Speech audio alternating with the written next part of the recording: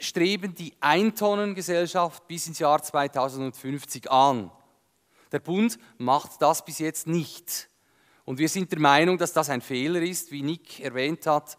Äh, Kernkraftwerke sind das eine, der Klimawandel ist das andere. Und wir müssen beides unbedingt unter einen Hut bringen. Und wir können zeigen mit unseren Berechnungen, es geht. Es braucht eine konsequente Umsetzung und die Schweiz ist sicher in einer sehr guten Voraussetzung, um das zu machen.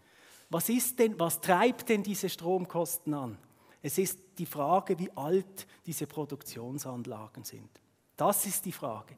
Und es ist nun mal so in der Schweiz, die Wasserkraftwerke sind alt, die Atomkraftwerke sind alt.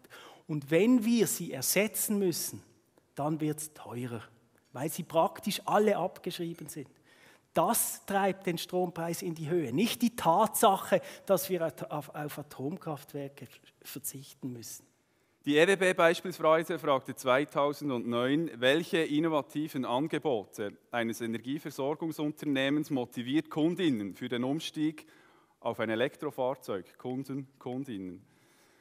Ähm, hier kamen 428 Ideen dabei raus. Und auch hier Klar wäre es spannend, einzelne herauszupicken, aber elementar ist, wie die Firmen, die Organisationen diese zusammenführen, was sie daraus machen. Es ist selten diejenige, welche Idee dabei, aber der Ansporn aus diesen Ideen, das Wesentliche, das Substrat rauszuziehen, das ist enorm spannend und das funktioniert sehr, sehr gut.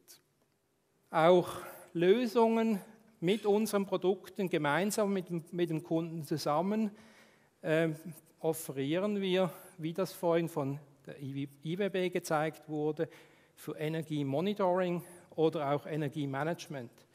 Denn es gibt ein altes Sprichwort, was man nicht misst, kann man nicht optimieren.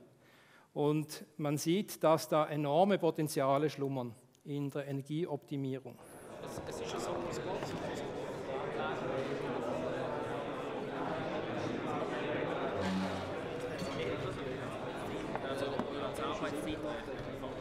Thank you.